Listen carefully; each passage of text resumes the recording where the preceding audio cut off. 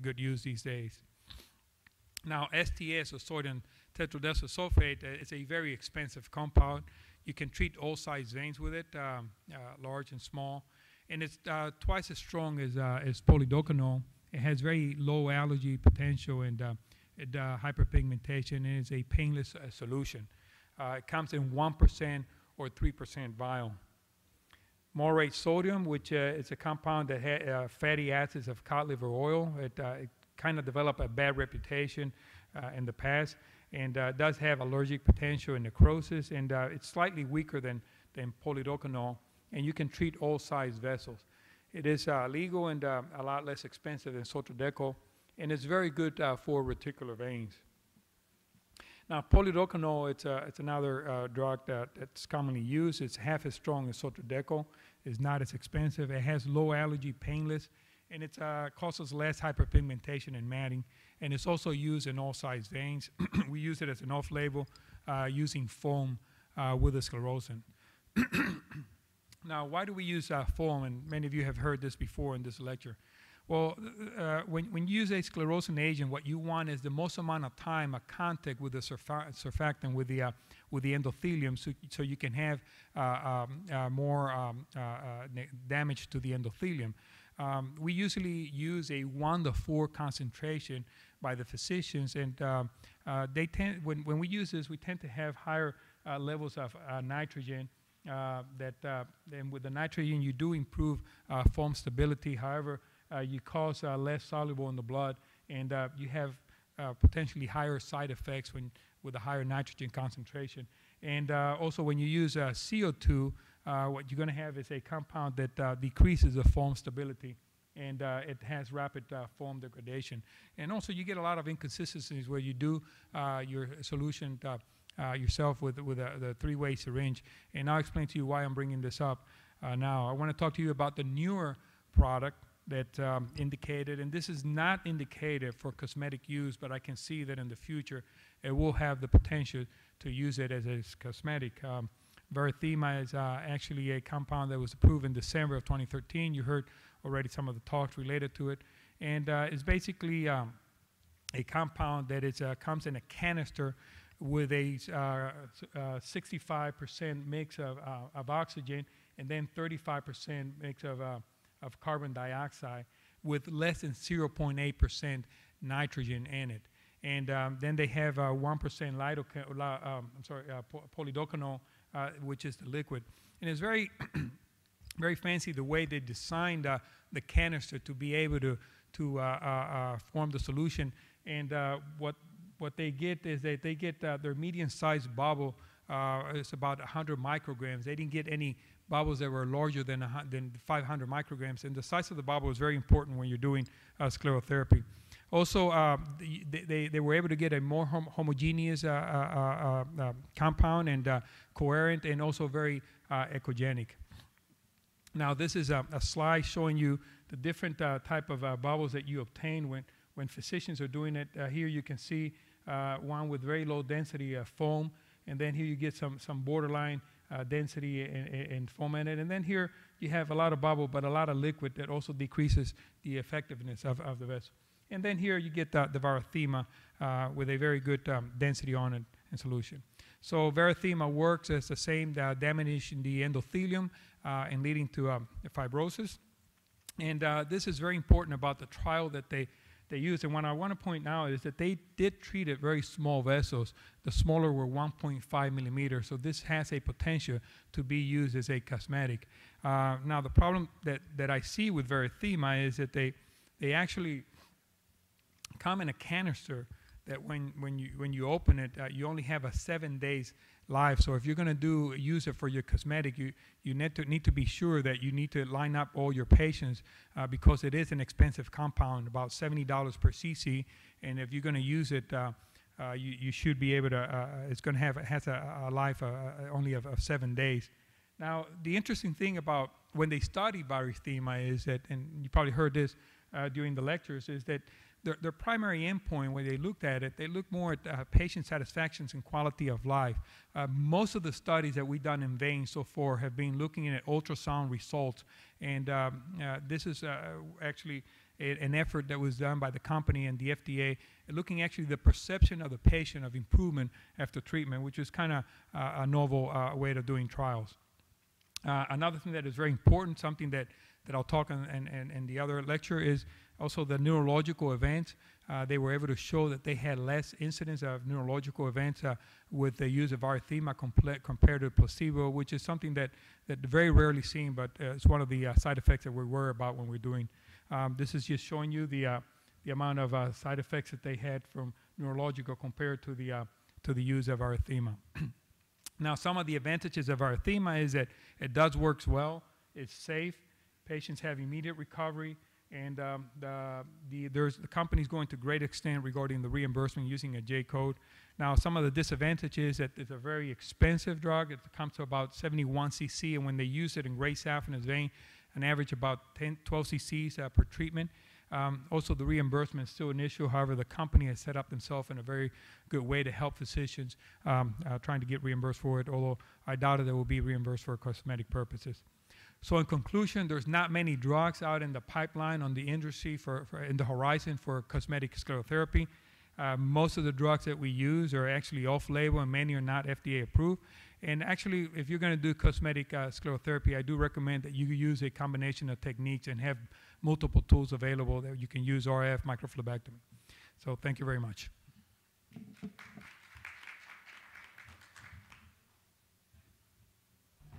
Next presentation by Ms. Peggy Bush about selecting the proper sclerosant.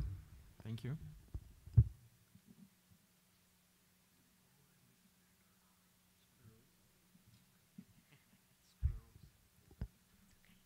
Hi, um, I'd like to thank Dr. Thorpe and Dr. Golzar for inviting me. My topic is selecting the proper sclerosant concentration and volume. There are many modalities to treating spider veins, not just the gold standard sclero. You can use laser, ohmic thermolysis, IPL, looks like I have ohmic twice there, Cutera, Excel V, and minor surgical techniques. I don't have to go into this in too much detail because it was just went over. Um, but in our clinic, we mainly use um, We do have polidocanol on hand. We do um, use the 3% and we do dilute it down. That will save you some money there. We use polidocanol mainly on patients that have the potential to stain um, Fitzpatrick 5 and 6. Um, as was stated, there are other hyperosmolar hypertonic solutions not FDA approved, and um, he went over those in detail. As far as um, Sotradecol polidocanol, you do have to um, brush up on your math. Um, you will have to dilute, dilute it down. Um, some of the percentages that we use are 0.2 for the small spider veins and 0.3. And by the way, I do um, have these PowerPoints available on our Venus blog, so um, they're already up and you can view them there.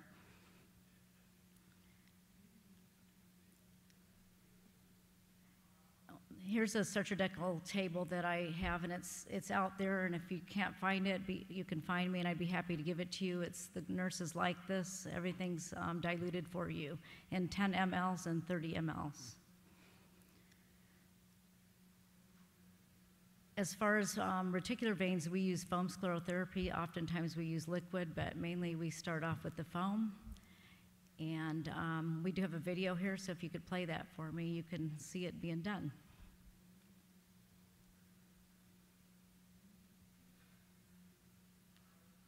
Can you turn the volume up too, please?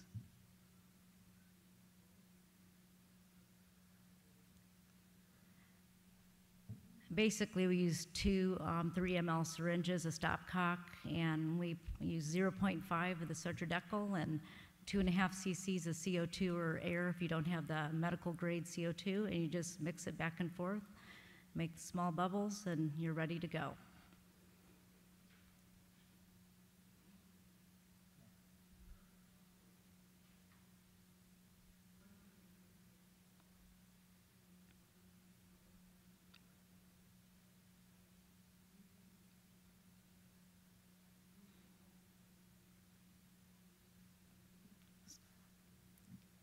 We use CO2 if possible, since the bubbles do dissolve faster in the arterial circulation, thus reducing the risk of adverse events. We use the Tessari method as just shown. The advantages to using foam increases the surface area of the sclerosant, thus reducing the amount of medication needed. Circumferential contact with the intimal wall causes more damage, see a better result. Displaces the blood, thus avoiding dilution of drug. Use in larger veins greater than 1.5 millimeters because foam is difficult to inject into the smaller ones. For the smaller veins, we use liquid.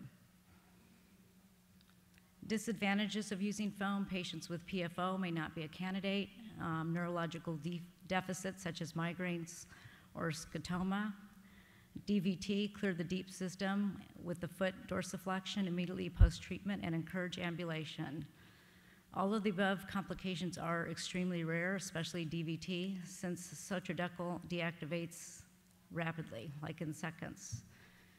Using too high of a concentration may cause angiogenesis. So use just lower, lower concentration and inject slower.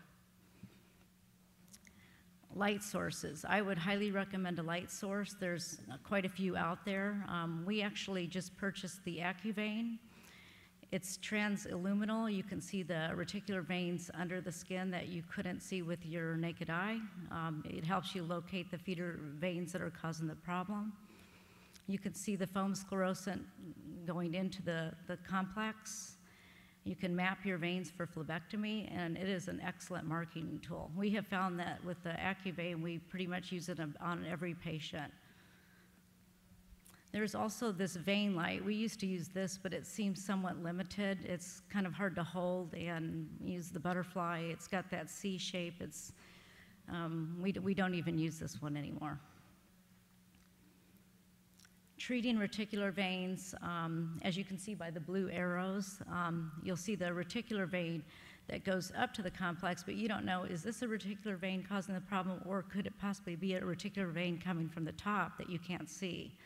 So with the AccuVein light, we're able to determine which vein is causing the problem and then treat that vein.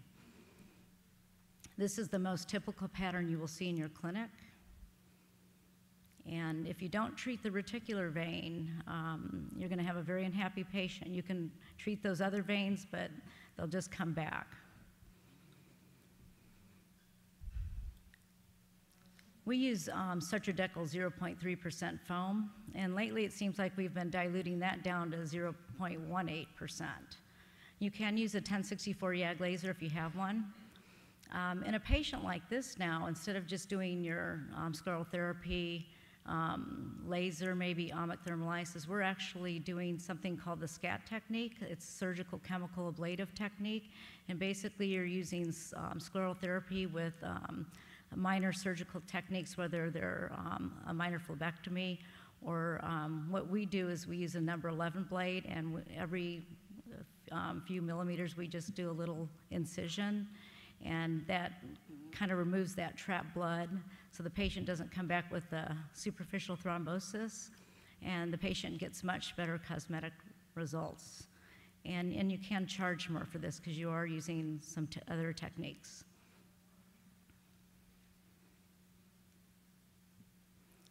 In this particular vein, you would treat that reticular vein, and you, you don't need any vein light to see that. So 0.3% foam. Then we kind of milk the um, foam up into the other veins. And then you'll want to just use um, liquid on the smaller ones. Um, you might use a laser. You might use ohmic thermolysis for the little red veins. Um, for the little veins, we use Sotradecol 0.2 or 0.18%. Remember to inject slowly. Make sure you see blanching. Um, we have been using arnica gel and we have actually developed a cream called Dermica cream that you'll be hearing more about. Um, it's in the lab right now, and we're just starting to use it. It has um, properties such as arnica and essential oils and vitamins, but um, it does help with bruising. I have found that I keep it in our clinic, and after we do phlebectomy, thermal ablation, anytime we do an incision, I put that on patients and I recommend them to use arnica um, twice a day for one week. And they come back and they love it, and it, the bruising is down.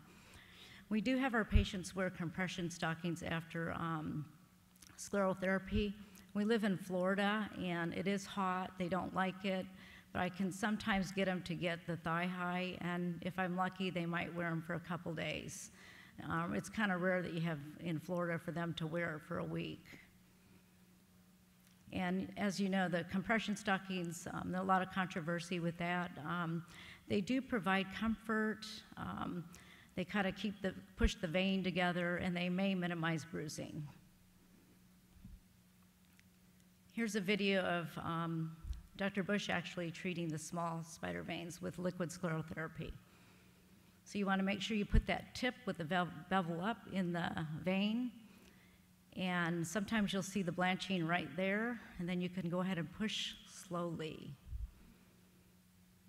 And sometimes they kind of connect and you'll hit a lot of them, and sometimes you just got to retreat and you just keep doing this. And that's why a lot of doctors don't do it. You have your um, nurse practitioners, and in some states, the RNs can do it. And where we're at in Florida, the RNs can't do scleral, but advanced practice nurses, nurse practitioners, they can do it. As far as volume, um, sclerosant, if you look at the insert, and I happen to look up the Sotradecol insert, the max, maximum single dosage, dosage is 10 mLs. In the European consensus for foam, no more than 9 mLs. And in the Procomet study by Frullini et al., there were no neurological um, events, migraines, or visual disturbances using 5 mLs or less. Um, we try to use less foam and um, we use the foam for the reticulars and then we move on to the liquid. In conclusion, make sure you have uh, appropriate training and please go over the patient expectations. If you tell them ahead of time that you're going to look worse before you look better, that kind of thing, and what to expect, they're not, they're not going to be as mad. Educate the patient, make sure they sign consent forms, um, keep your concentration low, and inject slowly. Any questions, feel free to email me. Thank you.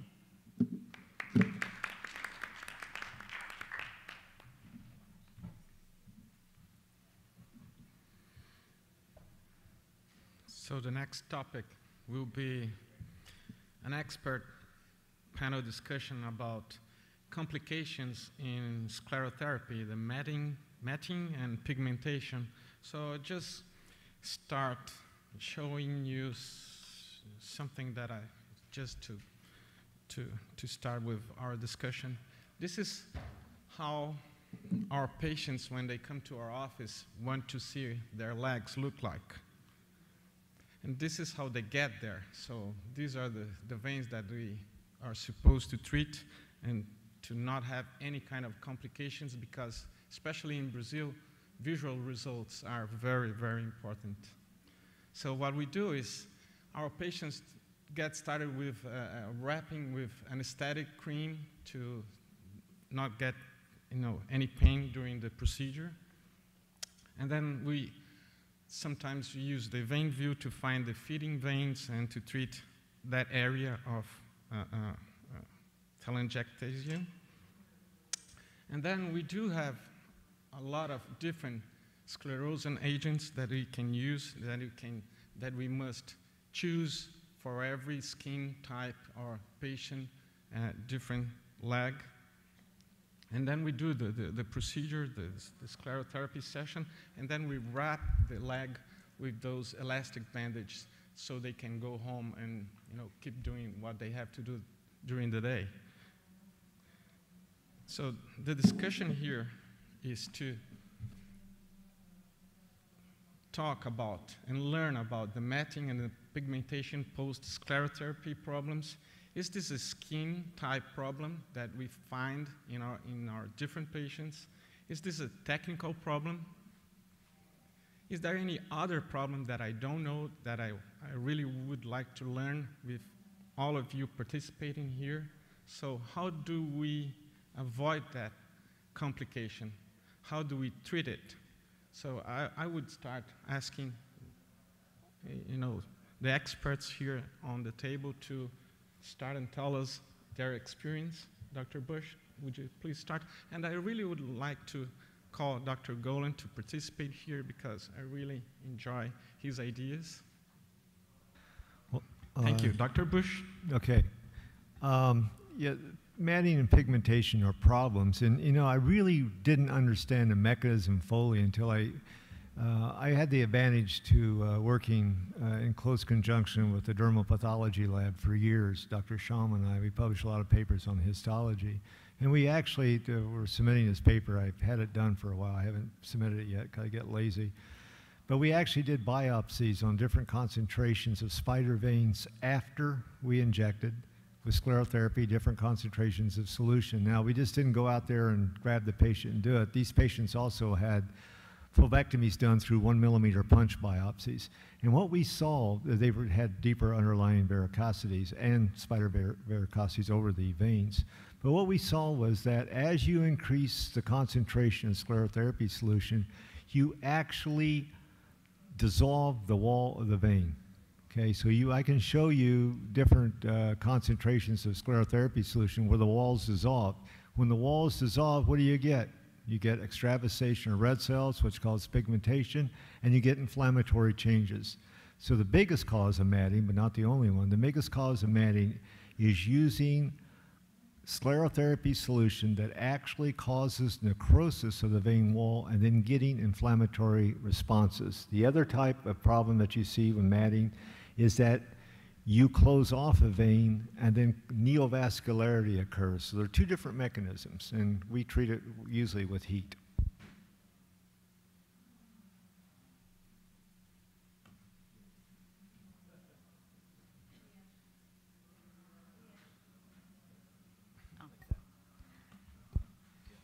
We actually work together, husband and wife team, so um, we don't we don't see a lot of matting or um, pigmentation. We really don't. We use lower concentrations. Um, sometimes we get patients from other clinics that come in, and if the reticular vein's not addressed and they treat the spider veins, um, sometimes the patients will get angiogenesis, and they are not happy. Um, so with that, we would use some tumescent, and um, we mainly use ohmic thermolysis, better known as VeinGogh. Um, that works great on angiogenesis. Dr. Javier? What I noticed with my experience is that I, I saw a lot less matting as I got better on it. So I, I agree with, um, with Ron that actually uh, uh, trying to not to extravasate and, and actually using lower concentration. And as your skills get better, you see a lot less of it. But sometimes you take all the measures necessary, you use a lower concentration, and you still get some patients that come back with it. And, um, uh, and uh, just uh, don't know how you can prevent it. But using low concentration, as your skills gets better and better, you see a lot less of it. Dr. Gola? I think as far as. Push. Yeah. Thank you. As far as matting goes, that should be good. Um, Again, I agree with everything they've said. I think the other thing is, is you want to try to inject with a low pressure and low volume. A lot of people, when you first start doing this, you inject with a lot of pressure because you want to see the entire lateral thigh blanch with a single injection. But there's some thought that when you inject under a lot of pressure, you open up little microcapillaries and create inflammation uh, just on that also. As far as hyperpigmentation goes, again, when people first start doing this, and I, I see a lot of patients again for second opinions, um, they'll just get injected for sclerotherapy and they're told, you know, go home, have a good life, and you know, see me when they come back, when your spider veins come back. But if you inject someone uh, doing sclerotherapy, you just have to make them come back in three to four weeks because they will all get thrombus trapped inside the vein you treat, and if you don't evacuate that, they will get fairly intense hyperpigmentation. So part of our consent actually says you understand that you must come back for a follow-up visit at three to four weeks uh, to get optimal results. Uh, so we try to put a little bit of the onus on the patient. Uh, you just can't inject them and expect to get a good result. Can I add one thing that before we go on? That when we do sclerotherapy, uh, a lot of times, if the veins of sufficient volume, we will do immediate about five minutes after we do the sclerotherapy, we'll inject tumescent underneath the vein, and then about every inch we divide the vein with 11 blade, and that way they don't get retained clot for the most part, and you have good resolution immediately. And one other point, if your patient is on iron, take them off. I want to add that uh, to that is that oh, when you start with a patient, uh, don't, don't try to do too much on the first visit. So, so you can see how they respond to it. And uh, if they have a lot of matting or pigmentation, then you can adjust your treatment. But what I suggest you do is on the first treatment, just do um, uh, be kind with it and, and not do too much that day, just so they can get a see what, how they respond. A lot of people respond differently, and that's a that's a good uh, uh, um, uh, thing to do. That, that just see how they respond on the initial therapy. Dr. George. Um, so again, I think this was touched upon earlier. If you're going to do visual sclerotherapy, uh, then you should have the patience for doing it. So I think uh, you know it takes time, it takes effort. You need to dedicate that time to taking care of that patient. And um, if you don't have the time to do it, if you want to rush from one case to another, this is probably not the right thing for you. Um, the other thing is, so that's for the reticular veins, and then if you're doing the larger veins, um, you know, sometimes you need a combination therapy. We've talked about uh, using multiple tools, and uh, sometimes sclerotherapy alone is not going to work, and you may need to do adjunctive phlebectomy. Uh, and that's how I proceed with my patients. We tend to do a lot of uh, phlebectomy with the sclerotherapy uh, for treatment of the patient. So. Dr. Chopra? I take a slightly different approach to this, where when the patient first comes to me, I actually say, what's the area you want treated? So let's say it's the lateral thigh like you showed. Now we know that venous hypertension is the cause of all of this problem. So I always try to find out, is there something else feeding it underneath? If I find a reticular network or a perf coming in, I'll actually inject foam in it at the deeper level and massage it up all the way into all these branches and I explain to the patient, you're going to need three to five sessions. And then we work our way through it from the deeper branch to the next bigger reticular branch to the fine telangiectasias, and I use the vein wave for the very fine stuff. And then show, I show them pictures over the next few, how, how they're going to progress, and the results have been spectacular. What I don't do is just start randomly injecting and then that's where the matting occurs, blood's trapped. So they have to come back for the second. I make all those appointments the first time. I make them commit to it, otherwise I won't do it. That, and, and, and the point there is you find the source of the hypertension, which has to be a small valve. I'm not going to do laser. But if they have deeper reflux, central truncal reflux, that's got to be treated first and work my way back. But, okay, my question to, to you guys is, we have this patient that we did sclerotherapy, and two weeks later, they will come back and they already have that pigmentation in the spot of our puncture. So, what do you do? I mean, do you send them to a dermatologist? Do you, do, do you give them clearing creams to use, or just say, just tell them to wait and see what happens? What do you, you say do? you, you say where you did the puncture, they developed yeah, small veins. And they already IPL. The, the brown. IPL works great, no matter what, brown, red. Don't you know?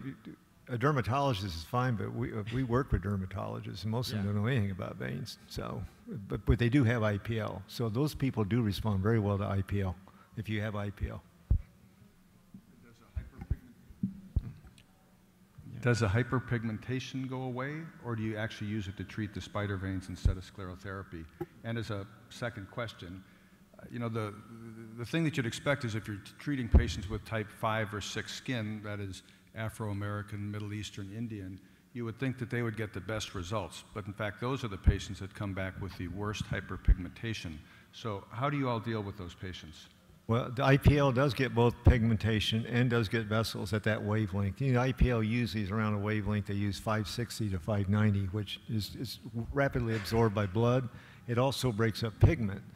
And as far as the doing the Afro Americans, uh, we use very dilute Sotradecol. We start at 0.1%, and like somebody mentioned, we do a test, like Julio mentioned.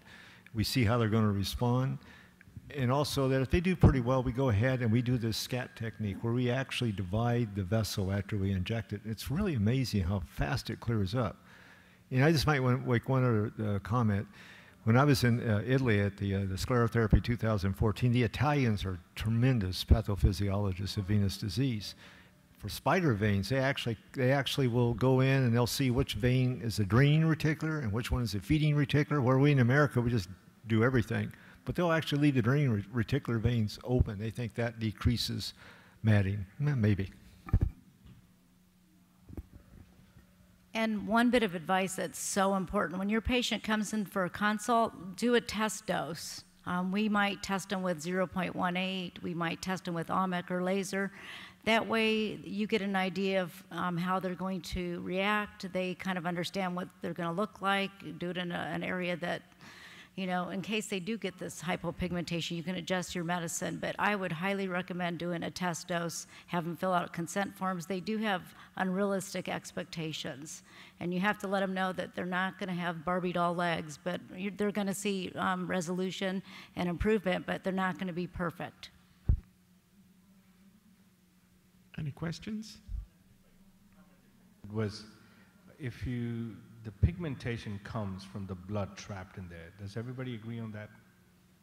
No, So- it's wrong. It Where- comes from two different methods. It comes Yes from trapping and it comes from extravasation of red cells. There's two different pigmentations. Okay. Two different. So if you don't allow the extravasation, which you said is really a matter of not forcing too much and very high concentrations. Well, that's one, but that's the reason that we do these bi- we do these punctures of the vein after we treat these larger spider varicosities of one millimeter. That's why we divide the vein with an 11 blade because we've done two things. We've expressed the potential clot, okay, and we also get out any you know that uh, we get out any blood that's there already, and it may decrease the efficiency. It may it may decrease the tendency for uh, destruction of the cell wall because the longer that this is in contact, the, the sclerotherapy solution, even though it's deactivated, if you have a lot of sclerotherapy solution and you don't have the blood to deactivate it, it's going to keep going through the vein wall. That's why that's we prove that with different concentrations. So we just get we wait about three to five minutes, get everything out, press all the blood out, wrap them up, and usually our goal is to get 80% gone with one treatment. So the answer really seems prevention is better than the cure. That Absolutely. just avoid the hyperpigmentation. But once you get it, then it's more of a dermatological problem. Is that right? Yeah, you just use heat. You can use any kind of laser heat. YAG, 940. Um, I've seen the, the Italians take a bare tip fiber and hit it, you know. I, it's just amazing, get these big spots. But the good thing about the skin, everything heals very rapidly. And the reason it does, the squamous epithelium regenerates, is because you're treating a very small area, and the eccrine glands are regenerate squamous cells very quickly. You can actually see them coming out of the eccrine glands after injury. It's pretty cool. So you do the, uh, the, the, the stab right after, If it's a millimeter or more, we stab it no matter what, right after. Just Reticular 11 or blade, just 11 blade, about every maybe inch or two. Yeah. You mean the feeding vein? Huh? The, the feeding vein for that area? Anything, anything we inject, we stab. I don't care if, if usually it's it's the spider veins or the reticular veins. If they're very large, I'll just do a little phlebectomy. But if they're like two millimeters, But you do the phlebectomy before you do the sclerotherapy? So No. they doesn't don't make any difference. You can do anytime. Because in Brazil, we, there is this idea that you have to get rid of the feeding vein before you do the sclerotherapy. And sometimes you do the phlebectomy, and once you get back, there are fewer veins to be sclerosed after that, two weeks after that. Yeah, I don't know because you know most people are not going to tolerate coming in getting a little phlebectomy, then you come back it. They want everything done at once. Oh. That's why we do it. That's why we. That's why, that's why we do it that way. But I, I don't know. Do you do uh, like a, a saphenectomy with phlebectomy and sclerotherapy at the same time? Uh, you mean do I? you, Do, do you understand that? me a third? Do I take do the it? patient to the OR and No, do I don't go to the OR. We do everything Ah, in the. okay. We do everything in the outpatient But clinic, Is, right? is this common done here? I mean, the great saphenous vein ablation with phlebectomy and a sclerotherapy at the same oh time? yeah, yeah. Okay. Absolutely, yeah. D- The exit phlebectomy. If I'm doing an intravenous ablation, I always take out the first varice that comes off the saphenous vein. That's called the exit phlebectomy. Always do that. Then I see them back. If they need more, you can do it, or uh, you you know, see. In Brazil, we, we didn't do that. I mean, the, you do the surgery first, and then after recovery, you do the sclerotherapy, and you know, it's kind of starting game and the end of the game. No, of of cosmetic veins, we don't do it at the same time, but they're cosmetic. We do the, you know, Yeah. right, if it's cosmetic, we haven't come back because that's not in the, that's, you're not gonna get reimbursed for But- for doing that unless Yeah. you do But our patients keep asking us to do everything at the same time because they need to get ready for summer. That's why. Shiko, I have, a, I have a question for Dr. Bush. I, I feel like I'm missing something, so if, if I'm confused, maybe someone else is too. But when you do the small stab phlebectomy with 11 blade, just a little tiny, it, aren't you causing it all to squeeze out of the vein? And do you get uh, an associated bruising in some patients because of that? No, it's leaking out onto the skin. Oh, outside, it's coming it's the out. out, okay. outside, I right. thought it was kind of like. it No, no, it's coming outside. You're getting it out. You're, you're getting out like you would do a, g- g- like a clot. You oh, express it out. I see, that I was, thank you. We'll show you that in the next, one of the next presentations. So I do it the Brazilian way, actually. That's how I, I don't do it, I do it the way you do it with my patients. I bring them back for, I give them multiple session appointments and phase it out. And then, it, they may be tight appointments, but I don't do it that way. It's interesting, maybe you gotta try it mm-hmm. do a lot. Yeah, we do thermal ablation, we do exit phlebectomy. Sometimes, if the insurance pays for it, we do all the phlebectomy, and we will treat a small area with sclero just to see how they react. Plus, we like our patients to be happy. They are so happy they come back. Plus, we live in West Palm, we work in West Palm Beach, and they don't expect, I mean, they don't want to look bad at all there. I guess, yeah. Well, One of, one of the problems is uh, when, when you do the ablation is that the patient stays with the bulges there and then they don't think you did anything. So a lot of time, even though you get, you don't get, many times you don't get reimbursed as you should for a phlebectomy, uh, you don't want the patient, an unhappy patient. So uh, I tend to do all my thermals and immediately I do phlebectomy. And like Ron says, there's actually uh, uh, less chance of uh, reopening uh, uh, the vessel when you do it. You know, instead of the exit phlebectomy, I've been doing the, uh, the foam. I take sotradecol, make it one and four, higher concentration, and that whole branch going down, I just let it kind of sclerose down. And I've been doing less and less of phlebectomy because they tend to hate that little uh, tugging, number one, and number two, whatever little dots they have left. Has anybody else tried that?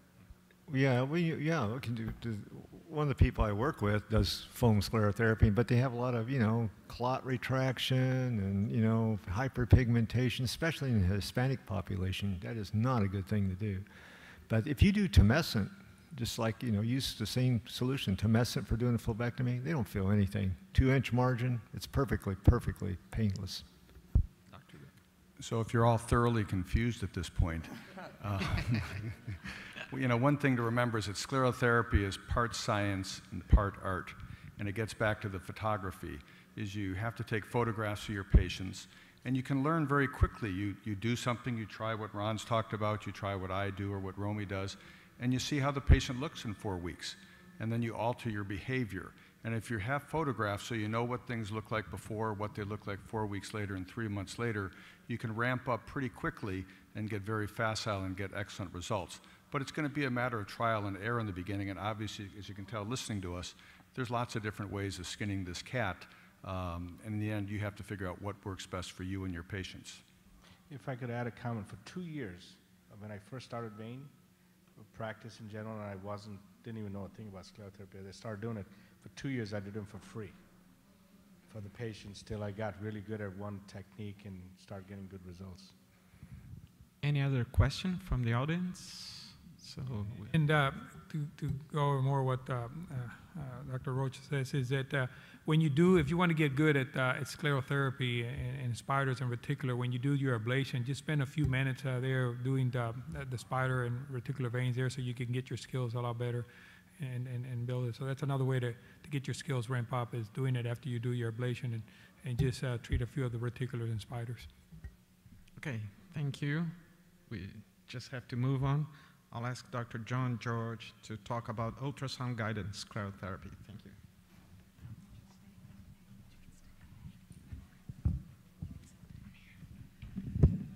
All right.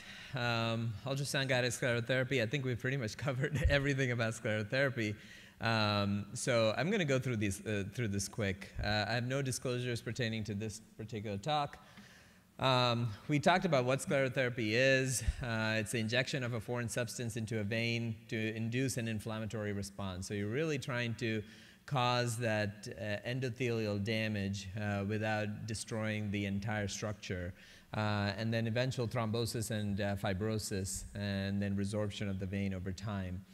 Uh, the indications, uh, we kind of talked over a lot of this, uh, telangiectasia, small varicosities, uh, in the absence of venous reflux, residual veins or varicosities that are large that recur post-surgery for, uh, for varicose veins. And you see a lot of this even uh, in your, uh, as a cardiologist, I see this even post-bypass surgery after veins have been harvested for bypass.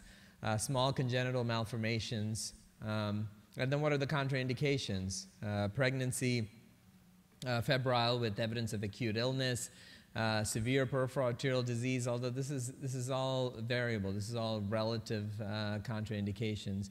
Uh, acute superficial thrombophlebitis in the segment that you are going to treat is, is really a contraindication. Uh, advanced rheumatic disease, osteoarthritis, diseases impacting the ability uh, for the patient to be mobile, uh, you know, again, what are you going to gain from doing this, uh, doing this therapy uh, for this patient?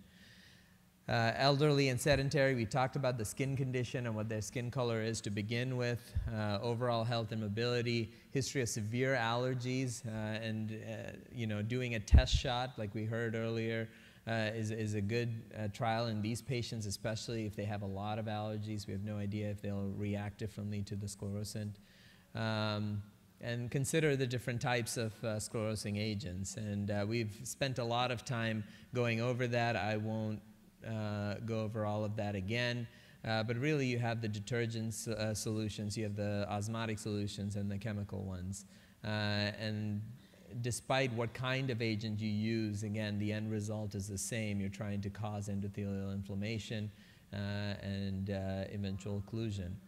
We talked about foam sclerotherapy uh, until recently. We talked about uh, that is now uh, approved, uh, which is a, a, microfoam with polidocanol.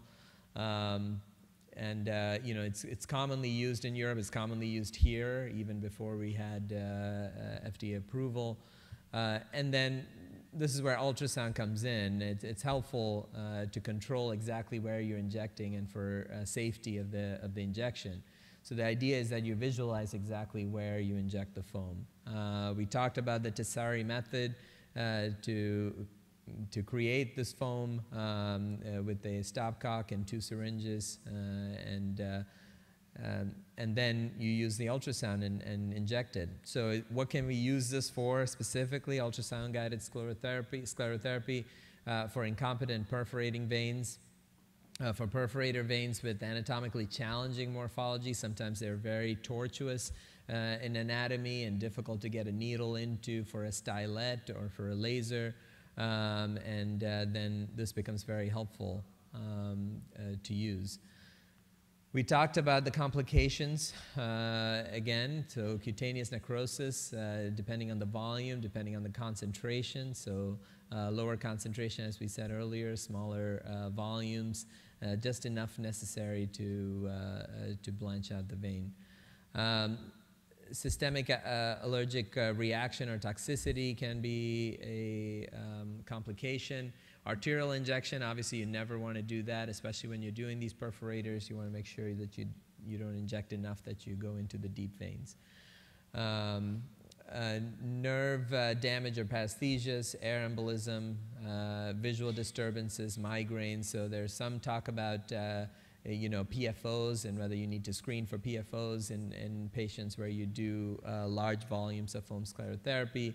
And uh, you know, none of this is necessary if you're careful in, uh, the amount that you inject. Uh, DVTs, PEs, paradoxical embolization, stroke, superficial thrombophlebitis, all of these have been described as, as complications. Uh, and again, the key is to be careful. Uh, local reactions, uh, we kind of had just spent 10 minutes talking about this as an expert panel about uh, how to avoid the local reactions with matting and ecchymosis and bruising and hyperpigmentation, hypopigmentation. Uh, obviously, skin necrosis is the worst uh, situation. You don't want to get to that point. Um, allergic reactions are, are, can be common. You can have inflamed areas. Yeah, you want to try to uh, avoid that. And uh, again, it's a, it's a little bit redundant. We've already talked about a lot of this stuff, and, uh, and, and now we'll end there. Thank you.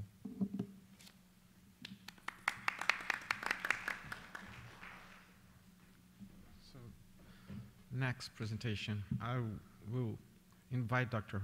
Romy Chopra to present his pre-recorded live case about step-by-step phlebectomy please.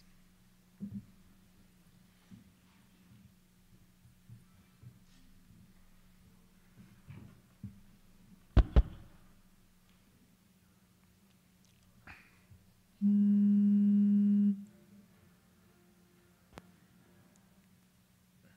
They cut my whole. They cut it short. Jeez.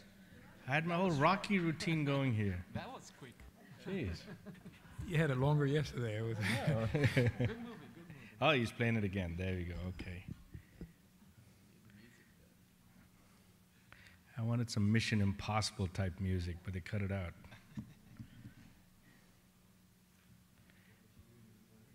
Actually, I play music for all the patients. I ask them what music they want. I have Pandora, and if they say whatever you want, then I play Indian Bollywood music, and it's a party. And some patients will tell me, What's the matter? You're not singing today? And I'll say, Well, I'm thinking of the ex wife, so I'm not feeling good today, you know, that kind of stuff. Only a few people laughed, but that's okay. Are you going to play that, or is it? All right. But I, you know, one thing I do for sclerotherapy and stuff, and all this, even some of the complicated stuff we do, is I try to make it as much fun for the patients and make it very down to earth, totally chill out. So I tell them all kinds of jokes. We have a good time. I call it vocal anesthesia. Not a drop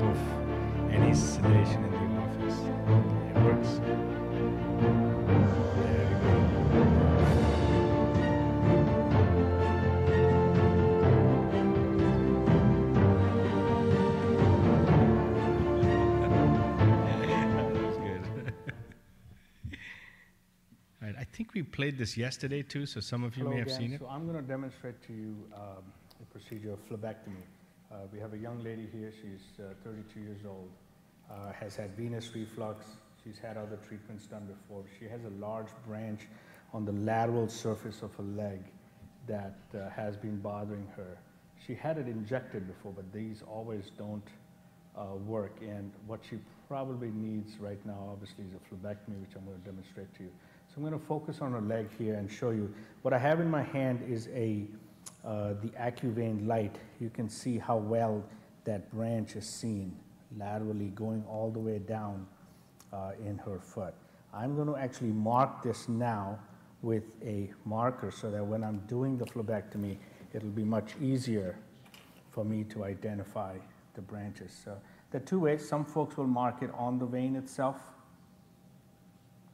Others will put it along the side.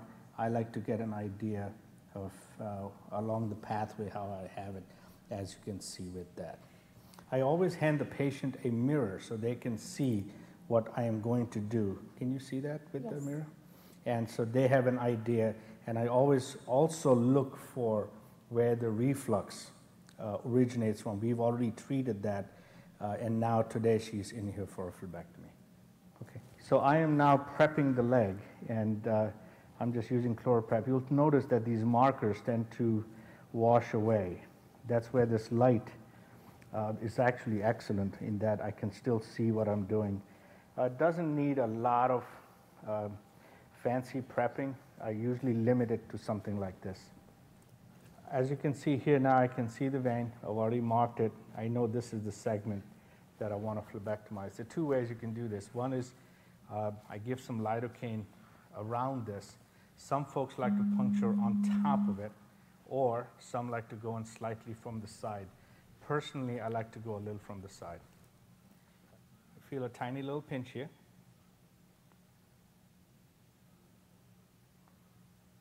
All right.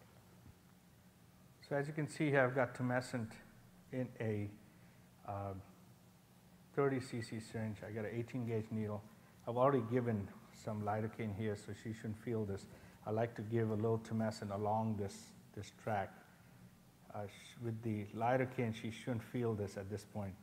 I make sure I'm not inside the vein, and as I, I'm giving some of that tumescent um, underneath. You don't want to overdo it because sometimes you lose sight of the vein as you're doing this as well. Often it'll track along the track, along the vein, as you can see here. Uh, in obese patients, it can be a slightly uh, bigger problem. I try to take the same track path and then just inject along that pathway, as you can see here. Now, the beauty with this light is I can still continue to see the vein underneath. Uh, if I switch off this light, you will see how difficult that becomes. Now you can see without the AccuVein light, all I can rely on is these dots. And with those dots now, I don't exactly know where the vein is underneath. So now for phlebectomy, I prefer to use those, uh, the AccuVein, and I can see what's happening underneath it. So I'm going to turn the light back on and try and go from there. So I've given, I try to make as few puncture spots as I've just done one. I'll go back the other way as well. And I, I aspirate just to make sure I'm not uh, inside the blood vessel there. And then also give a little further higher up.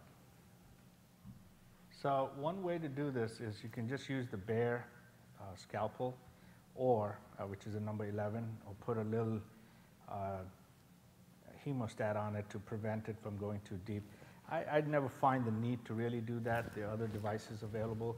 So I'll go right next to it and give a tiny little pinch. You should not feel any of this. Down the leg, I've learned you want to make this as vertical as possible.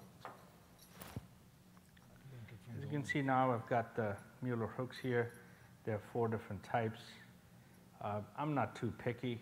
Um, I tend to do way less phlebectomies than I used to, and you try to match the one uh, that'll fit the size of the vein. So I'm going to try and use this one right here. And uh, I've got that tiny little skin nick. I'm going to go in there, get underneath that branch, hook it up. You feel it, twist it around, and you see the pearly white vein coming up. If you give adequate tumescent, you rarely ever uh, hear complaints from the patient. As you can see here, I've got the, the pearly white one, and you tend, tend to land up tugging on it like that. Oftentimes they break like that, which is okay, and then I'll grab one end on one side and pull it. And oftentimes I may not even pull the whole thing out and actually just let it break underneath and just uh, go back and forth. Got a little oozing from there. So here now, that was the first site. Uh, sometimes you won't get it. You'll feel a little tag of the skin. You can see that, but I've broken the vein. That's good enough. I'm going to try and catch it up here higher up. And you can see now I got that, and you see the whole segment popped up at this end, right there. And um, I can grab that, and as you can see here, pull it out. Sometimes they're just, they're fragile because these are damaged veins, and they pop right out uh, in your hand. Did that vein have previous sclerotherapy? Yeah, she had Yeah, that's probably. as you can see right there. You'll see a little oozing from here. That's the two spots. I'll do one more up here. The third spot, just again a little higher up, same, grab the vein underneath, white. Oftentimes you'll catch, you could potentially catch a nerve fiber next to it, but if you're careful enough, you won't. And if there's not a lot of inflammation, uh, you'll see. But you know you're in the vein if you get heme like blood like that, and uh, looks good so far. And uh, some people get excited about how much they can remove, but if you want to pull this out now, uh, you take this, not more than a, a centimeter or a few millimeters at a time, literally, you catch it underneath, you pull on it till it actually literally tugs and breaks at the other end. And I've reached that point, and I can see her jumping a little bit because uh, it probably pulled up at a spot where this was not uh, anesthetized. And then a little compression. Often you'll have a little skin tag right at the spot. But you can see otherwise it's good. If you get the skin tag, I'll usually just, uh, not the skin, but just a tag from the, some fibers. I put it in because you don't want the tag staying out to heal. I then will clean this up with, uh, with some hydrogen peroxide. Um, it tends to work pretty well. And then after that, put in steri-strips on it. So as you can see here, um, the, after a while, the oozing stops. Uh, if you turn on the AccuVein light, you'll see that's fragment. There'll be some heme underneath that. Maybe look like a little bruise along that track, as you can see along that pathway. But we know we've broken up that fragment of vein. The one underneath will not fill much anymore, and we've already taken care of the perforator uh, higher up. All right. I'm going to clean this up with a little peroxide, just some thrown on a gauze. It uh, helps clean the wound up, but also not really a wound. uh, And at the same token, it uh, also acts uh, in helps in rather stopping the blood uh, from oozing out too much. So uh, I'm going to now put some steri strip on it, and what I'll do is tend to go up on across it. As you can see, it's pretty clean. I'll do one the other way. There's no real uh, formula to this, but just enough to keep the tension uh, on it and let it heal.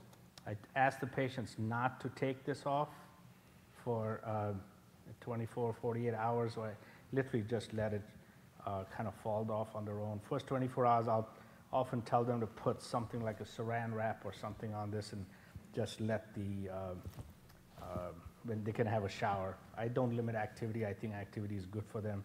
As you can see, looks very good. We'll give her a nice compression wrap at this point. One of the secrets to compression is you don't want to compress the entire leg.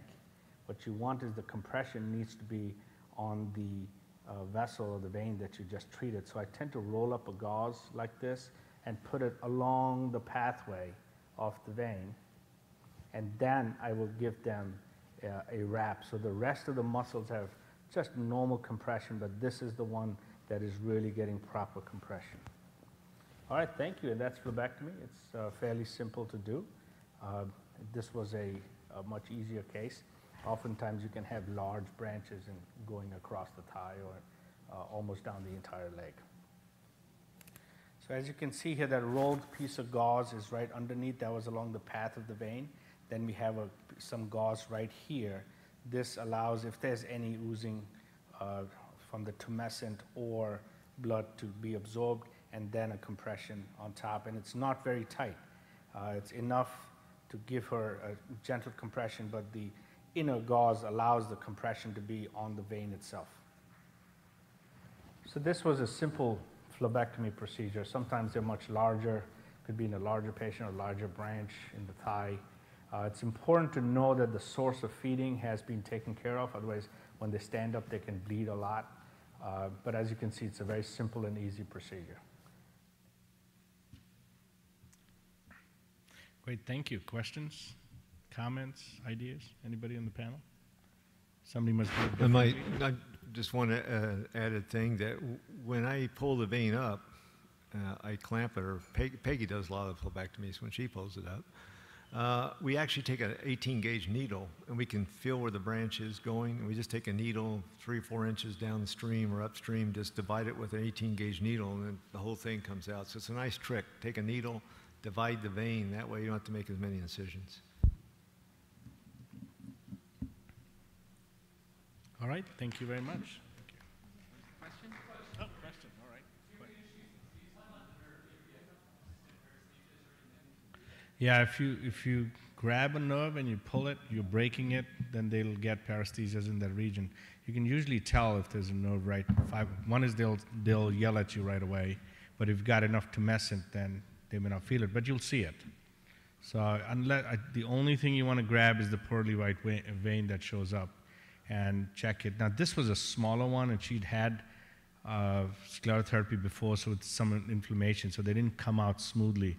If they're large enough, they just come out like linguini or something like that, and you'll see them what they call the inverted U, and then you can pull up one way and the other. I mean, I've pulled out several centimeters, 10, 15 sometimes, it really doesn't matter how much you pull out, you interrupt them, it'll be fine. But avoid the nerves, yes. Thank you. Thank you. Thank you, Dr. Chopra. Now, Dr. Ron Bush, talking about hand sclerotherapy. Thank you. As an added point, if you're you know, doing a phlebectomy, all of a sudden you say, hmm, what's this piece of dental floss doing in the wound? Then you know you got a nerve. So nerves look like dental floss, so don't pull out dental floss. I'm going to talk about hand veins and facial veins because if I talked about hand veins, hand veins alone, I'd be done in three minutes. So I'm going to take up some extra time. So we're going to talk a little bit about hand veins and facial veins because we're in a cosmetic setting. Most of our work is done in a dermatology clinic. He, uh, our dermatologist owns 23 clinics. They're each being outfitted with their own radiotherapy units. It's quite an operation, but they don't do veins. So uh, the, the dermapathologists that I did most of my research with on histology, they were classmates. So when I moved to Florida, he called me up and said, come work with me, and you can be our vein guy doing cosmetics. So you have to know your anatomy if you're going to do facial veins. It's very important. You don't want to inject towards the nose or towards the eye or towards the brain.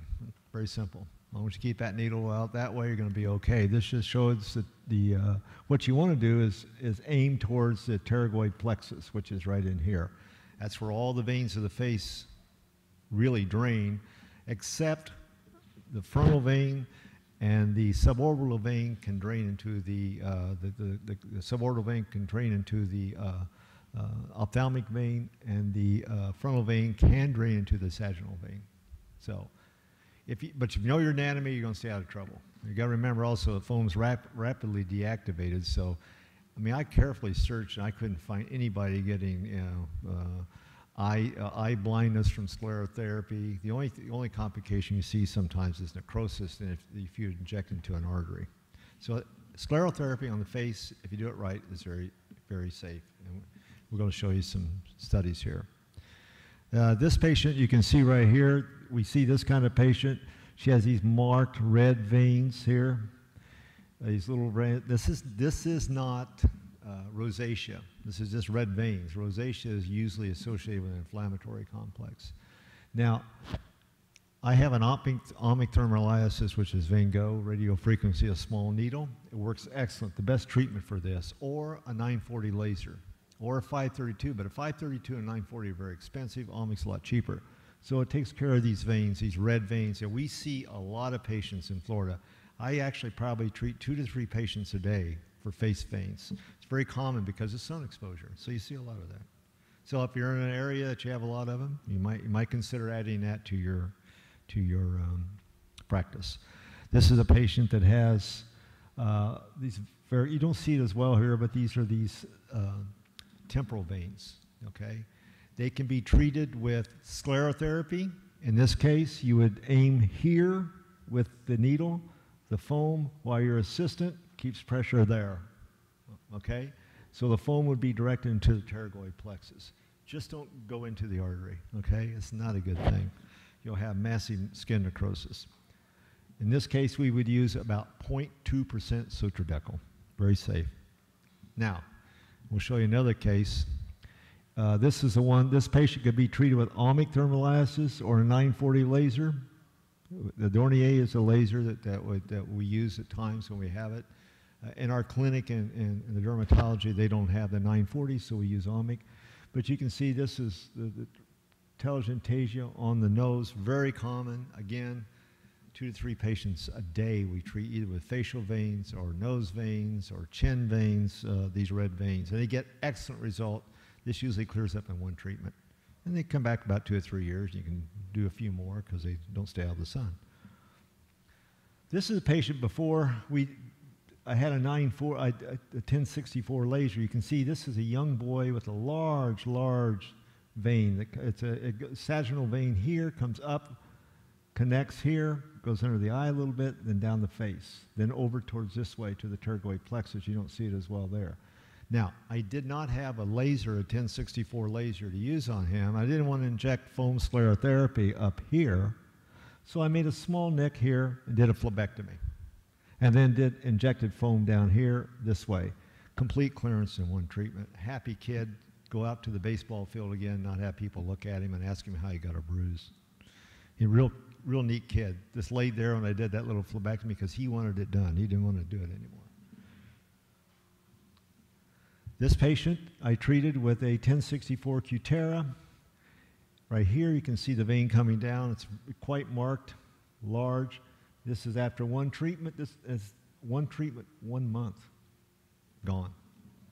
So a 1064 YAG that's properly cooled, but you have to give about 160 to 180 joules, is great for any blue any blue green vein of the face. Is usually gone in one treatment. If you got a 1064, they cost about 80 to 100 thousand dollars though. So you got to have about I figure at least 100,000 patients to, to use it to make a profit. This again, that same patient, you can see it, it's gone, has not come back. It's an excellent, excellent, excellent laser, but very expensive. Suborbital vein, you can do a 1064 YAG, you can do a foam sclerotherapy, or you can do a phlebectomy. I've done them all, okay? Anyone works well, however you're comfortable. This is the Dornier 940. You can see this blue vein here that we're treating. Works excellent. This is gone in one treatment. This is another patient you can see that has like little red veins. You can treat this with a different combining IPL. You can use you can use the uh, Dornier 940 or ohmic. This is probably the hardest vein to treat on the on the face because these are these supra um, uh, these veins on the eyelid. They're, they're, they're, not really superorbital. They're actually just varices, little tiny uh, spider varices on the eyelid. Not common, okay? Now this next slide is going to make you quench. You're going to you're going to like think, how did he do that? Watch. There we go. Injecting it. Isn't that something? Injecting it with 0.1 Sotradecol solution. You know what? Cleared up one treatment. So it works. And the guy, that guy wanted it gone. I, you know, I, I can't believe he sat there and watched me do it, or he let me do it, but he did.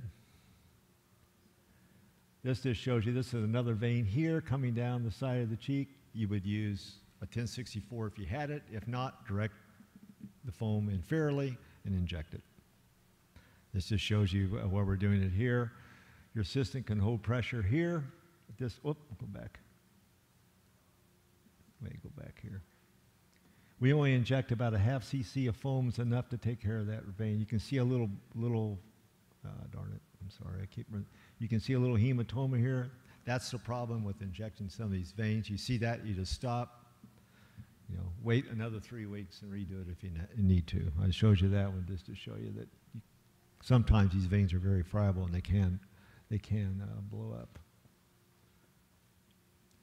This is ohmic thermolysis. You can see it, it with magnification. It's uh, just a small needle that, uh, it's a 35 gauge needle that actually penetrates the vein. You give pulses and it actually Uh, obliterates the vein. Because most veins on the face are, are within 300 microns of the skin. Most spider veins are within three to 700 microns. So you have to have something that can penetrate the skin. And this is very easy to do with the ohmic, okay? The deeper veins, it's not going to work, okay? Because you can't get the needle that far. If it does, it hurts too much. You have to have either a laser or you have to use sclerotherapy for the deeper veins. This just shows you us doing it right here, another one. This shows you what it looks like after we do. You can see it's kind of red. That's normal. That's a normal response. It'll be that way for about three or four days, and you'll get like little dots, but everything goes back to normal within about two weeks. It's hard to kill the skin. That's the biggest thing I learned in my 20 years of doing veins. You really have to work to do something bad. So points to remember, so, suborbital veins are very common. If you got a laser 1064, it's great. If you don't, you can try foam. If that makes you skittish, send them someplace else, okay? Always direct the needle laterally. Temporal veins can be treated with foam or phlebectomy if they're very large. We prefer not to do little incisions on the face. Anything in the forehead, uh, I will do a phlebectomy on the midline veins because they're usually quite large and I don't like to inject things up into the sagittal sinus. Points to remember if you have a 1064, use 160 joules. So we're going to real quick look at hand veins. You can actually go through this. Hand veins. A lot of women in Florida don't like their hand veins. They go out to dinner and they got these big rings on. They, you know, can't really see the rings. You got too many veins. So uh, to them, it's a problem. Uh, sometimes they come in, I can't see what they're talking about, but for them it is. So we do different things. We do foam sclerotherapy, phlebectomy, or a combination of both. Okay. So in my practice, I do a phlebectomy of the larger veins, and some are quite large, and, and when I use foam sclerotherapy for veins under three millimeters, and then we'll show you the technique here in a minute. This is a patient I did with phlebectomy and sclero. Nice result. Okay, she, she had, I mean, I could see hers when she came in that she did have a problem.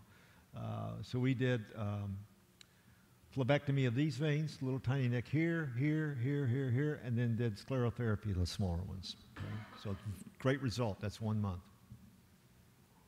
This just shows you where we did it. This is another patient. You can see I did, this is just, I just did one vein to show you here. I'll finish them up later. You can see this vein right here, fairly prominent, okay? So what we do, you can see the veins cannulated. Foam is injected. Now, these veins didn't really communicate, so the foam mainly stayed here and went back up a little bit. Put pressure on for about three to four minutes. Inject tumescent under the treated vein. Take an 11 blade at about every five millimeters or so, make an incision with 11 blades so you actually go through the vein, divide the vein. So you now you got mechanical disruption. You can get rid of anything that's trapped in there. There's what four. There's about two days after right here.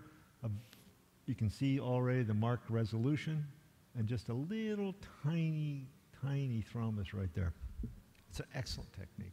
Okay, it's easy to learn, easy to do. Some some of our members uh, uh are uh, actually just do sclerotherapy, bring them back in a month, and poke out the clot. So a lot of different ways to treat it. And it's, it's, it's, it's a very nice technique to know because a lot of, a lot of uh, women want this done. And a few men, but yeah, that's, I don't know why they do. Anyway, so adding the treatment of hand and facial veins augment your practice, okay? Get proper training before you undertake any of these techniques, which is just go with somebody for, you know, a day or so, watch how you do it, or have them come to you and do some with them. Knowing your anatomy, you stay out of trouble. There's nothing on the back of the hand that you can hurt unless you're in the uh, hypothenar eminence where the branch of the radial nerve comes up. That's it. There's nothing back there, okay? You, got, you can't do anything. You take out a vein, it's very simple, it's very safe. Okay, thanks.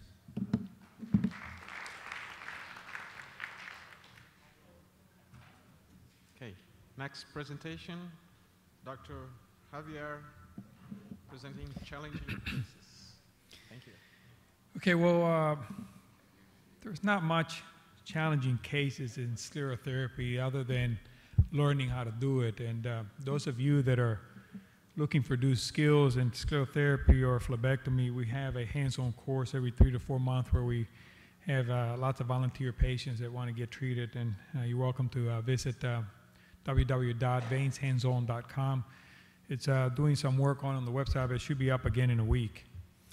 But uh, instead of going into specific uh, cases, I want to treat, I want to address two cases that you'll see frequently in your office, and uh, you ask yourself what to do. And uh, the first case is a 48-year-old woman with a CEAP6, uh, has an ulcer, and has a history of GSV stripping, um, and a history of PFO. She has no CVA, no TIA, no migraines, no diabetes, and she's not taking any hormonal replacement therapy. And uh, she needed, she had a lot of neovascularization and a lot of perforators that needed uh, UGS. So the question was, with a patient with a history of PFO, uh, should we treat her with sclerotherapy, and what do you do in those cases? And the other case is a 28-year woman with uh, CEP1 who just for aesthetic reason wanted to have treatment and uh, was miserable with her veins uh, and uh, did not go to the beach because of the veins that she had in her legs and uh, could not, not wear a skirt and had a history of frequent migraines. So what do you do in these two cases? So you, we already went through the contraindications of sclerotherapy, and uh, the question is whether PFO should be considered a contraindication to it or not. As you can see, absolute contraindication, people that had anaphylactic, and then some other ones that are very being mentioned in previous uh, lectures. So now, what's a PFO? Those of you who don't remember from medical school and they're now in cardiology is basically a remnant, uh, uh, uh, the atrial septum communication, and what you fear is actually uh, seeing this, a thrombus going across the atrial septum that can cause a paradoxical emboli. And um, that's what the concern of PFO is. But when you're doing sclerotherapy, the concern is whether your sclerosing could go across systemically and cause problems. So basically, PFO is seen in about 27% of the population. It, its occurrence is a autosomal dominant uh, uh, uh, inheritance, very similar to migraines, and uh, that is very associated uh, with vasoactive and um, passes through the PFO. So these are some of the associated diseases that are associated with PFO, CVAs, and TIA, peripheral embolization, decompression illness. Now let's review the literature, and this is a literature presented by Sulin and his group that looked at 33 consecutive patients that were monitored by echocardiogram who were treated with sclerotherapy and uh, demonstrated that all the patients had microembolization within 15 to 45 minutes. None of them had any neurological sign, and five patients did have demonstrated PFO with right to left shunt. Um, so there was no any permanent series of neurological events. On a study by Jia and his group, they looked at the 69 studies included, and uh, the serious event was less than 1%. Visual disturbance is 1.4%. So also very rare event.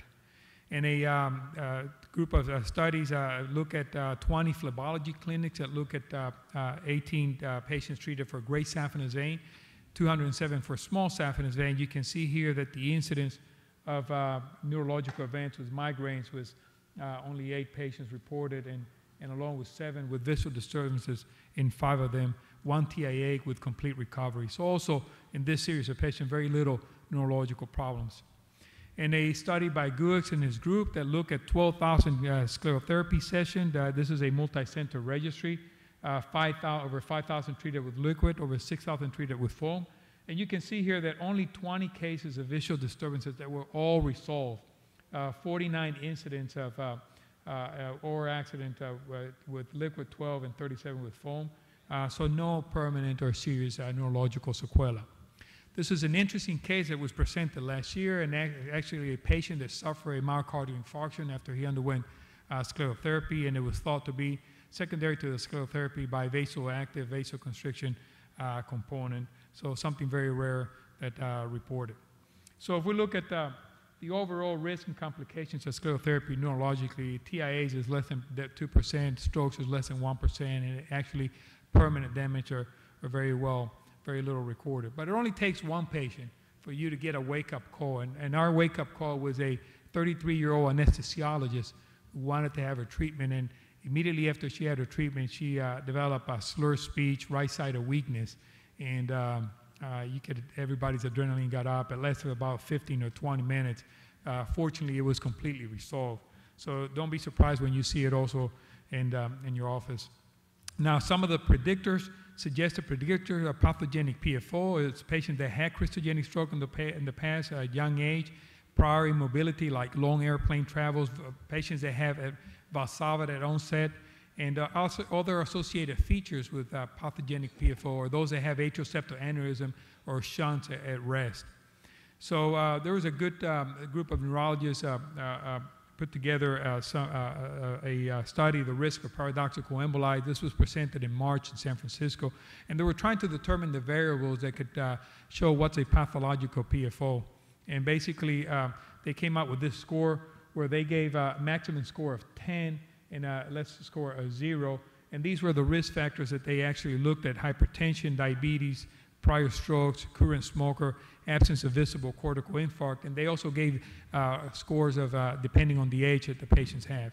And what's interesting here, as you can see, is that if you had a score of 9 to 10, uh, the chances of you having a cryptogenic stroke from, from PFO was 73%. So these were very good variables to take into account when you're looking at, uh, at your patients with uh, the risk factor. Now, migraine is another condition that we're concerned about when we're going to treat for sclerotherapy. Actually, migraine is more, more common than asthma and diabetes combined in the population. And uh, uh, it, some, some, there's some suggestion that migraines may be associated with, with uh, PFO, and especially when they have aura with it. So the complexity of paradoxical emboli can be because of anatomical variants, genetic modifiers, associated disease, nutritional status, infections, environmentals, mutations, or multifactorial. Patients that have COPD, pulmonary hypertension, or right atrial pressures or, or can, can be a high risk for it. Patients that have atrial septal aneurysm with PFOs.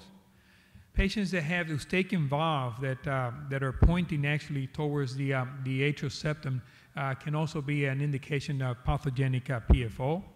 Or those that have hypercoagulable state, such as protein S and C deficient, factor Leiden, and some of the other uh, uh, coagulation disorders that you can encounter in your population. Uh, this is uh, the Stroke Council guideline for AHA on patients with uh, they're taking hormonal replacement. Actually, uh, you, you, should not have them on them. So if you're going to treat a patient with sclerotherapy and you're concerned about uh, PFO embolic event, you probably want to consider not having them taken the AHR. Very rare pulmonary artery malformation is also associated with right to left shunt. Now, so what do we do? Do we do an extensive workup on every patient that's going to come to our office? We're going to do an echo, blood test, and all that? impossible to do. So, uh, and, and I don't think it's necessary that you need to do, but you should get a very good history on your patient and find out um, whether they have any hypercoagulable state or if they had any previous event, TIA or CVA. And, uh, and just, uh, I think a good history would be sufficient and no need to do an extensive workup. So, not all PFO are associated with stroke. So, uh, the clinical consideration that you have to have is that sclerotherapy is actually a fairly safe procedure. You need to obtain a thorough history. Be prepared for the events when patients have a plan, in, uh, uh a plan uh, to follow up in case there are complications. In patients with questionable history uh, and uh, at risk, order an echocardiogram. And those at those at high risk, then consider a different type of, of interventions that um, for, for the individual. So what did we do with a 47-year-old lady with a with a, actually CEAP6 and uh, non-PFO? Um, we actually uh, told her that, uh, that, there was a higher risk and that we did uh, treated her and uh, she did very well, did not have any problem, and actually her ulcer got significantly better after she was treated. With a 28-year-old lady, we suggested an echo. Of course, uh, she was self-paid, did not want to pay for an echocardiogram. However, we did explain to her that on patients that have migraines, there may be a higher risk of having a neurological event. Uh, we did it, treated her very well. We documented in the consent. I recommend that you document these in your consent, and she also uh, did uh, very well. So uh, thank you very much for your attention.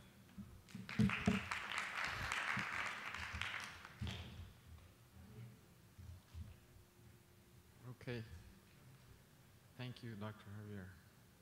Next presentation by Dr. Ziller. Hey, Dr. Ziller. About incom incompetent perforators, ultrasonic examination, and when to treat. Yes, good afternoon. Thank you very much. And uh, for my third and final presentation of this venous tract, I've been asked to talk about uh, perforators, how we examine them, and when we treat them. So you're all familiar with the perforating veins. These are these small veins that uh, connect the uh, superficial and deep venous systems in the lower extremity. And uh, they're called perforators because they perforate the deep fascia.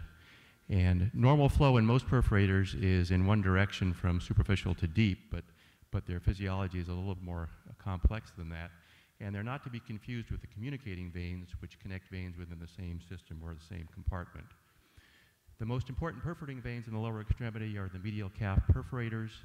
These can be broken down into the posterior tibial perforating veins or the Cockett perforators that connect the posterior accessory great saphenous vein uh, or the posterior arch vein to the posterior tibial veins.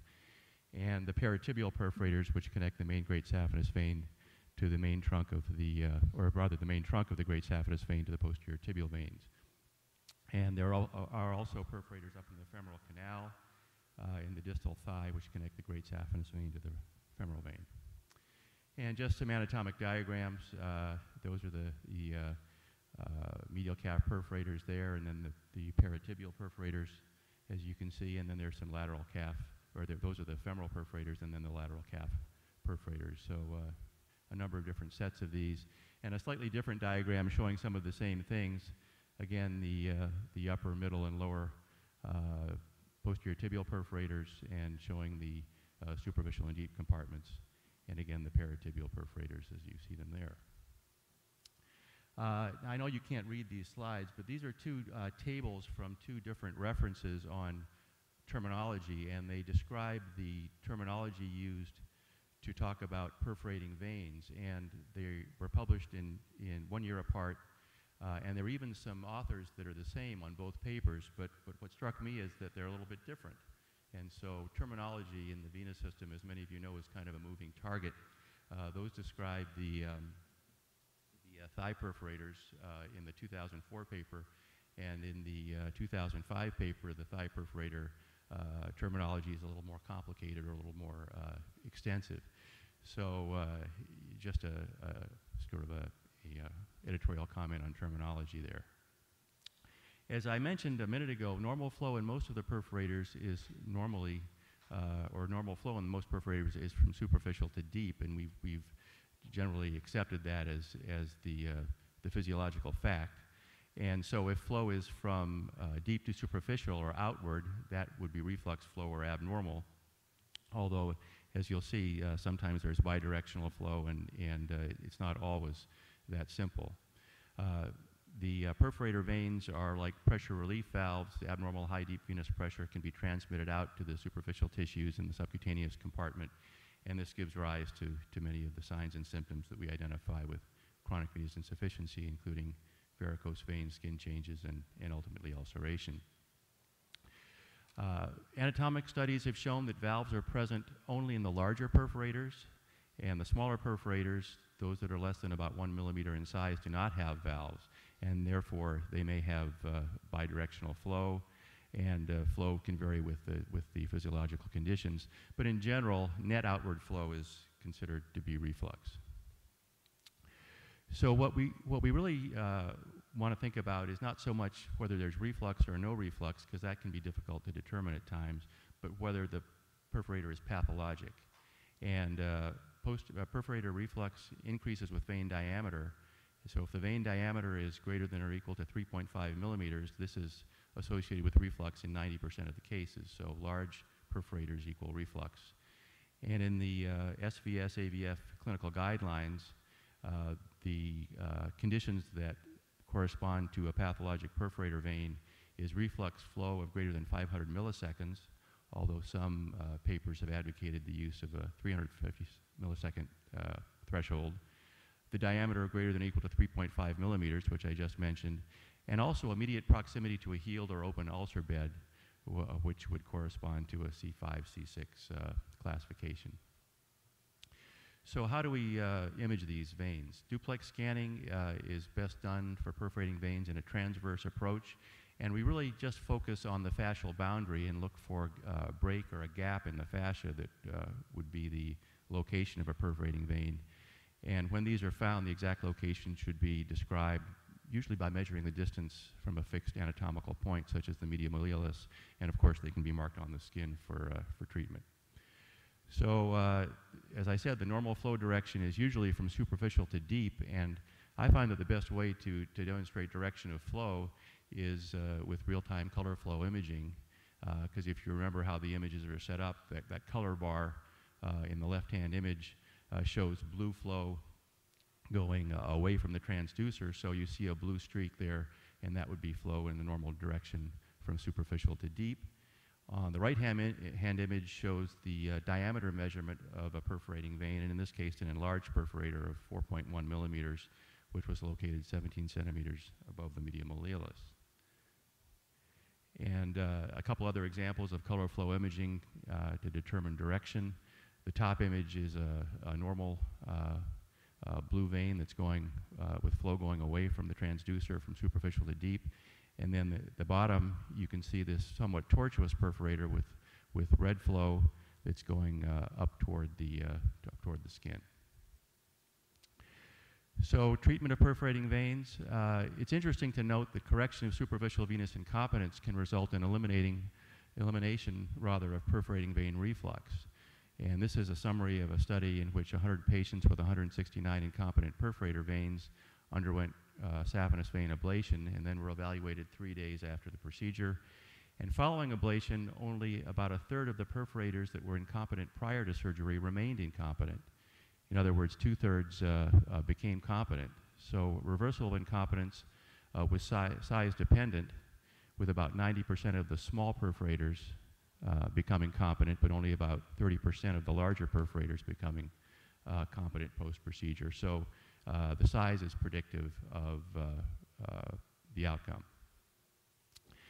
And this, this is a table from the uh, Society for Vascular Surgery American Venous Forum clinical guidelines that I referred to a little bit earlier.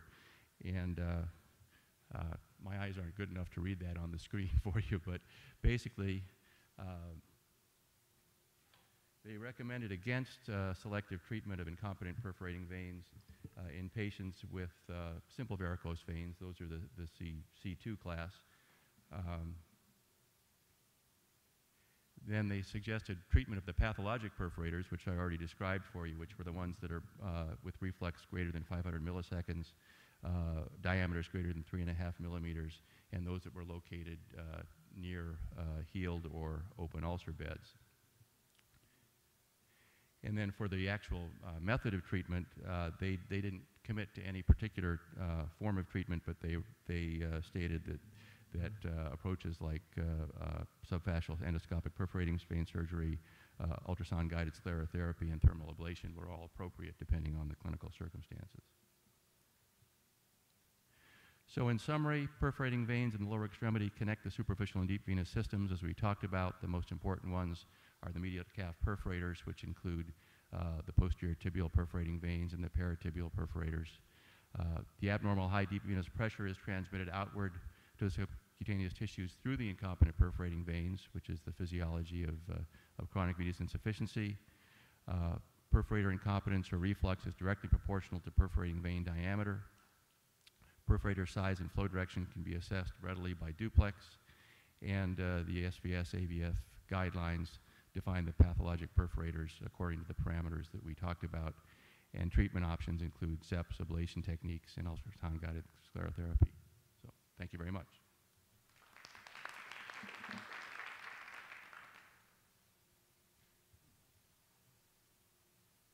Our last presentation, The Future of Non-Thermal Venous Closure by Dr. Andrew Pop. Thank you.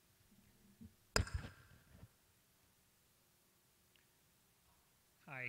So um, when I was assigned uh, this talk, I uh, looked at a lot of uh, literature, and uh, there's a tremendous amount of things that have been done, that are being done, some thermal, some non-thermal, uh, and I'm going to touch on a bunch of them.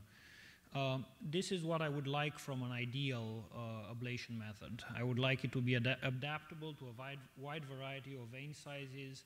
I would like it to be able to deal with tortuosity. I would like the veins to go away, not to indurate and hurt and cause problems down the road. I would like to have low risk to the structures Im immediately surrounding the veins, and here we're talking mainly nerves and skin, and I would like uh, low risk of DVT-PE. Um, I would like the treatment to be very predictable and very geographically confined. And very importantly, I would like it to be cheap because cost is more and more of a problem. So uh, these are some of the things that are around. Some of them are um, uh, thermal, some of them are non-thermal. And uh, we're going to touch uh, briefly on uh, most of them. So uh, the foam sclerotherapy, it's been talked about a lot. There's no need of tumescence. You don't have issues if the vein is tortuous. The foam glows, goes through the tortuosities. I use it extensively in uh, patients with venous ulcers, um, and it works great. there is a risk of DVT, there is a risk of stroke, and there is a risk if you extravasate or you inject intraarterially. Uh, the cyanoacrylate ad adhesives, uh, the company is, uh, and product is VenaSeal Sapheon. Um, it's basically super glue. Uh, and uh, you don't need tumescence, uh, you don't need post-procedural compression, which is an issue for many of our patients. uh, you don't really have capital expenses. You don't have a generator uh, or any other uh, specific equipment besides the ultrasound. And literature, initial literature suggests up to 93% closure rate at one year. Uh, it has CE mark and Health Canada uh, approval, but it's not approved by the FDA yet. Uh, it carries a risk of PE and phlebitis, and um, there is a U.S. study that's uh, uh, expected to be to have been fully enrolled by 2013 uh, that hasn't been reported fully yet. ClariVein, uh, they, uh, they are already on the US market. Uh, you in inject a sclerosant together with mechanical irritation of the vein.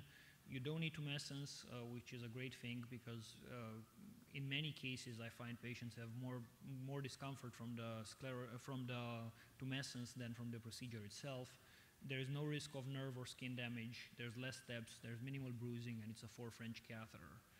Um, the, uh, this is what the uh, device looks like. Basically, you have this little um, wire that uh, irritates the inside of the vein, and then uh, you uh, inject uh, the sclerosant at the same time. there are several clinical trials that have been reported. they're in the literature, seems to work well. So this is one modality that's already here. Uh, laser-assisted foam sclerotherapy. This is uh, obviously a partially thermal method. You use a different type of laser than the one that we're used to. You shrink the vein a bit before you inject polidocanol. The advantage is that uh, when you do this vein shrinkage, you're not really causing spasm. The vein actually shrinks, and uh, they have very interesting pictures that show that the vein shrinks without endothelial damage, uh, and then you apply the polidocanol. Uh, one of the interesting things is they, they think it will work uh, very well for very large veins because you shrink them before you inject the sclerosant. And there's been one small clinical series uh, published as far as I'm aware. Steam ablation. This is a technology out of France, uh, basically a very, very small and very flexible catheter, uh, as you can see, less than four French. Uh, and their hope is that they'll be able to address very superficial and very tortuous branches. They inject steam at 120 degrees uh, Celsius, and there's no sheath. Uh, you do have to use tumescence. There's only one single arm study of 75 patients, uh, and it's not in the US yet. And this is what it looks like. Um, now, this is an old technique. Uh, our surgical colleagues uh, are probably much more familiar with this. Uh, basically, this is a pretty complex way of identifying the way that the veins connect and the blood flows and trying to eliminate those connections while maintaining as much as possible of the uh, um, uh, vein itself. Um, you know, I was thinking of this after I made a presentation the other day. I had a 20-something year old guy uh, with a extremely strong family history of premature coronary artery disease. Obviously, that's not somebody whose veins I would like to take out. So um, this would be a, a, consideration for somebody like that. Um, the, uh, there's the traditional surgical uh, method, and there's alternative methods that have been uh, developed uh, that are endovascular. Uh, basically, this is a schematic of a simple case uh, with uh, several interventions uh, where you interrupt the veins and you re-establish flow in new patterns. Um, invagination stripping has been around for a long time, first described in 1905, uh, and uh, it's uh, still a, me a, method that can be used. Uh, you basically attach the vein to a catheter and you, you, you invaginate it and you externalize it. V-Block, another uh, interesting uh, technology out of Israel. Uh, basically, you put in a vascular plug and then you sclerose uh, the vein, and the vascular plug uh, is supposed to keep the sclerosant from uh, going places you don't want it to go. it's very far from clinical availability at this point. Varithena uh, polidocanol endovenous microfoam. Uh, it's basically a fancy way of making very predictable uh, bubbles in your foam.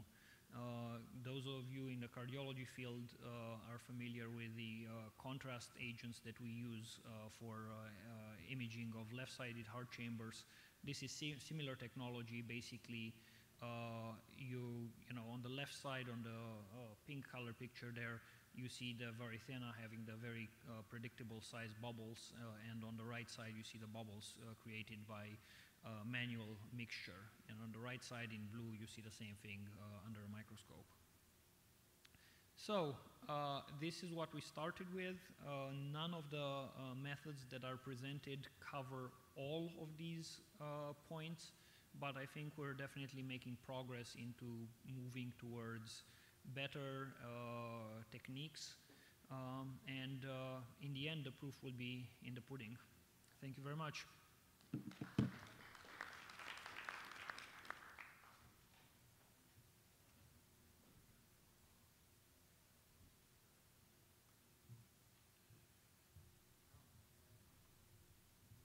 Thank you, Dr. Pop. I think we are far ahead of our time, so we have enough time for questions and comments from the audience. If someone wants to ask anything to our experts here, we're more than happy to address. Any questions? Does anybody want coffee? I'd like to ask a question of the, the entire room, just to see uh, if anyone has used successfully or unsuccessfully uh, closure devices in veins, in popliteal veins or femoral veins or jugular veins, uh, any place that, has anyone ever placed one of those of any sort? It's a, it's a different question, but I just want to ask if anyone's ever done that or has it never been done to your knowledge? As in vascular closure devices to, to seal the to stop yeah. the bleeding after and, you put or, a catheter or in. Use, uh, the Astera, new, the new system. Well, if anybody's used any of those with veins. People have used uh, AngioSeal, people have used PerClose. Um, one technique that I actually used yesterday morning is the so-called figure of eight stitch that uh, is used quite extensively by, I think, interventional radiology and by nephrology. Uh, basically you, you make a, a, figure of eight stitch around the vein and you use the skin to kind of bun bunch up the skin and compress the, uh, uh, the uh, access site. Uh, you then remove the stitch a couple of hours later. There's a couple of publications in the cardiology literature from Ted Feldman and his group. he uses it for the really big sheets for um, um, you know, structural heart disease procedures and it, it works great. Uh, use zero silk and uh, bunch up the skin, and it's very easy. Uh, I, I, use it femoral. Uh, I'm sure you can use it jugular as well. I've, I've used the Mynx vascular closure device for femoral vein access. Um, for large structural cases, uh, we use the 7 French device even for up to 12 French access in the femoral vein. Why? um, I, I, don't think you absolutely need to. They're fully anticoagulated when we do the structural heart procedures, and uh, they're a large bore. Uh, you could do manual compression, obviously, but uh, it's just convenience. Anybody else? Any other questions? So I want to thank you, everyone, to be here this afternoon. So we'll have this break, and the next section will start at 3:25. Thank you very much.